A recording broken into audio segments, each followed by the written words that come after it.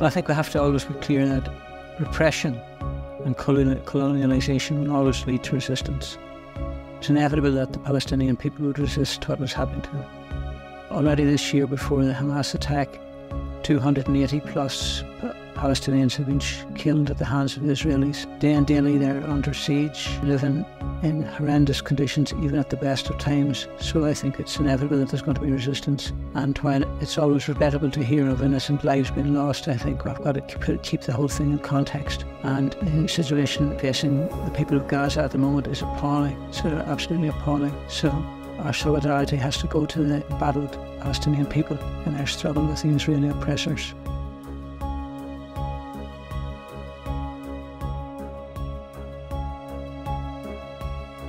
Well, there's a number of reasons, I suppose. One is the history of Ireland, where we've had a long history of resistance to British colonialism, British imperialism. So it was conditions the, at the time on the day, actually, that led me to take the immediate decision. It was tempered by the fact that there had been a long history in Ireland of which I was aware. And of course, then at the time, there was the horrendous events of 1970. The repression that had been met with peaceful democratic resistance had been lethally attacked by forces of the state and their supporters. So in many ways it was defensive action, but I think propelled me into taking the decision was the internment without trial, which was launched in August of 1971.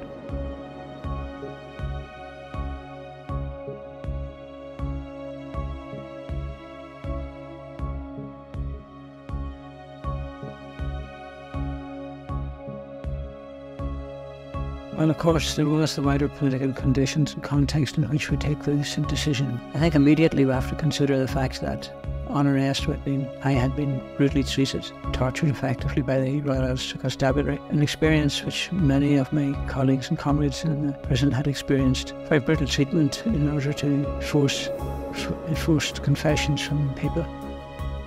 Then was, of course, the fact that we were tried before a non-jury Diplock court, which meant that the chances of acquittal were practically nil, and on the basis of a simple verbal statement, which I always contested that I had ever made, I was sentenced to life imprisonment. Now, this wasn't a unique experience to me.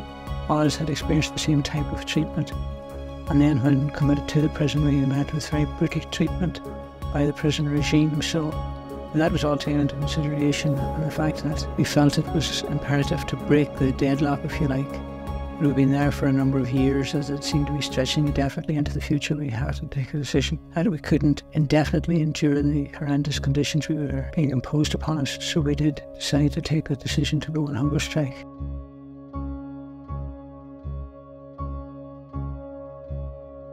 Well, to be honest, we expected to have support in Ireland, a little support possibly from the States and from our colleagues and support in Britain, although not so many in Britain. But we did, I didn't anticipate the, if you like, global impact that a hunger strike in Ireland would have.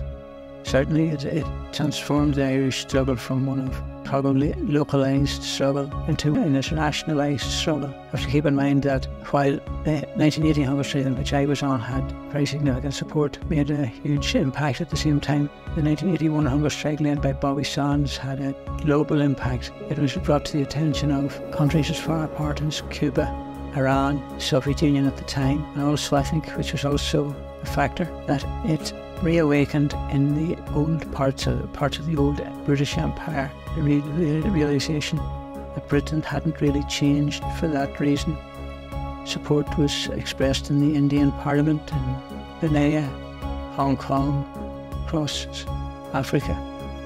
It's well noted that Nelson Mandela himself in his cell noted the fact that on the 5th of May, Bobby Sands had passed away. So it internationalised the struggle in a way that was unanticipated by myself and many others. But it also had uh, the impact of energising huge numbers of particularly young people, men and young men and young women in Ireland, which really challenged the narrative of the British at the time that, that the Irish struggle was a small group of criminal terrorists, as they like to call us, without any support and that we were isolated, a handful of small areas in the north of Ireland.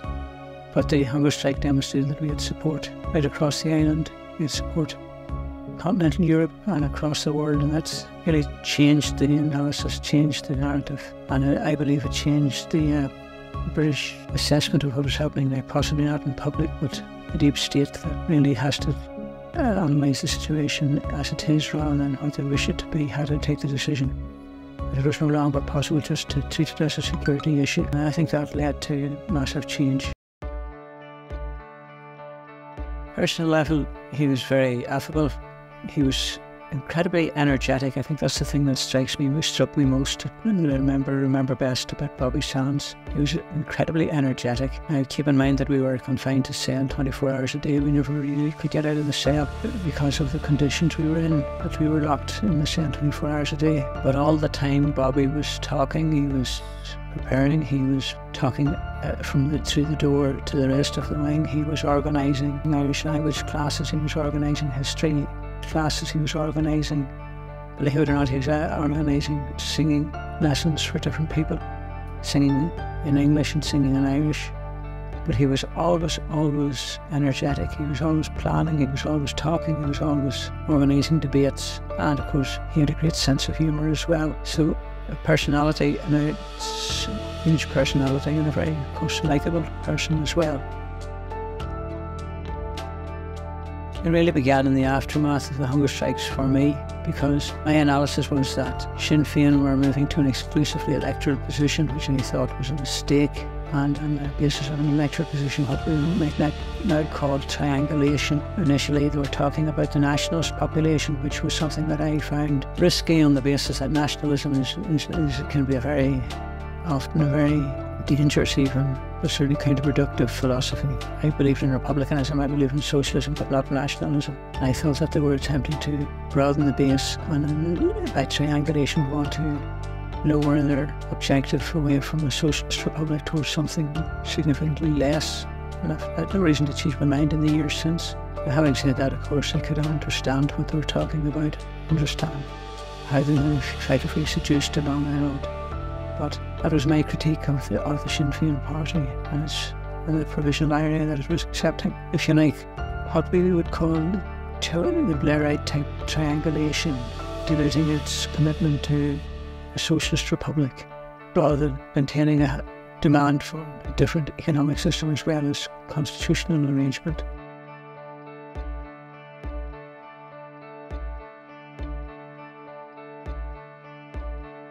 Well, paradoxically, in spite of what I've said, I believe that it has went a considerable distance to undermining the, the unionist position within the six counties of Northern Ireland. It's also alerted the Republic of Ireland that the conservative elements in the Republic of Ireland that things in the constitutional situation will not remain indefinitely. Demographics are changing in the north as well.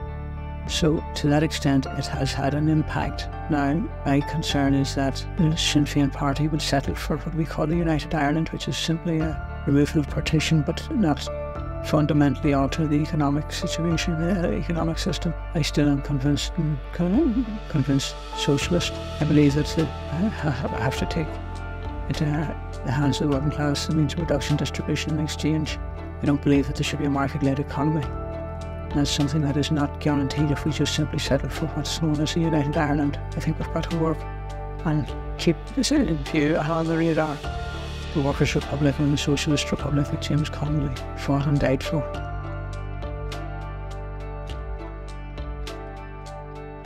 Well, I have a huge empathy for anybody on hunger strike, particularly our brothers and sisters in Palestine who empathise and sympathise and endorse their demands for justice and in return of, of their homeland. But hunger striking, in my opinion, is has often been defined as the last option for a prisoner.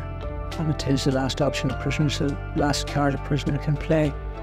And on that basis, I often certainly salute the courage of Palestinians who on hunger strike and sympathise with them in so many, many, many ways just wish to goodness that they didn't feel it necessary, they didn't have to embark on that course of action, but while they do, all I can say is support and call for support from them.